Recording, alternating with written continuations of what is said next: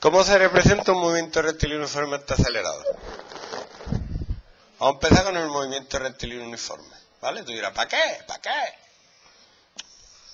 Un movimiento rectilíneo uniforme tiene una gráfica tiempo-espacio que es una línea recta. ¿Vale? Empecé para arriba, para abajo, da igual. ¿Cómo sería la gráfica velocidad-tiempo? Da igual. Es un ejemplo. Aquí la velocidad es constante, ¿vale? Porque es una recta. La velocidad es constante, quiere decir que la velocidad no cambia. ¿Mm? Ahora, ¿cómo es el movimiento rectilíneo uniformemente acelerado? Pues un movimiento rectilíneo uniformemente acelerado, la gráfica tiempo-espacio, es una curva. Además, es una rama de una parábola. Al principio vas recorriendo poco espacio, pero conforme vas avanzando, cada vez recorre más, recorre más, recorre más. Y la gráfica velocidad-tiempo, perdón, tiempo-velocidad, es una recta. Es decir, tú al principio tienes una velocidad cero y la velocidad va aumentando. ¿Vale? Entonces tú puedes calcular, sabiendo a partir de la gráfica, la, la aceleración que tiene un cuerpo. ¿Cómo? Dividiendo. Este sería el tiempo final, esto sería la velocidad final. Por ejemplo, vamos a suponer que recorre lo de siempre. En 10 segundos la velocidad llega a ser 20.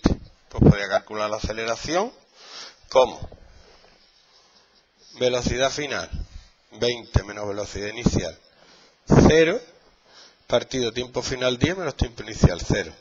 ¿Te suena de algo esto? Eso es la pendiente de la recta. O sea que la aceleración es la pendiente de la recta de la velocidad con respecto al tiempo. Y si te fijas, la velocidad es la pendiente de la recta del espacio con respecto al tiempo. Entonces te pueden poner una gráfica como esta.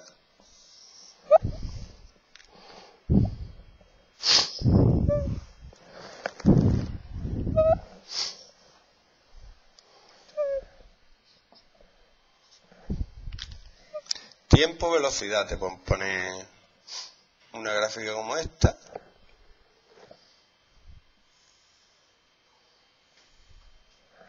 Y que, por ejemplo, de ahí calcules la gráfica tiempo-aceleración. Aquí la aceleración es positiva. Aquí la aceleración es cero.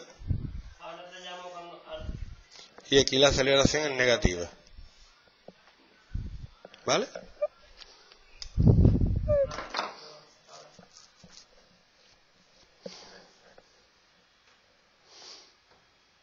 Esa sería la gráfica tiempo-aceleración correspondiente a esta gráfica velocidad-tiempo. Pues aquí acelera el coche, luego se mantiene un rato a la misma velocidad y luego frena hasta pararse y ya el tío se baja del coche.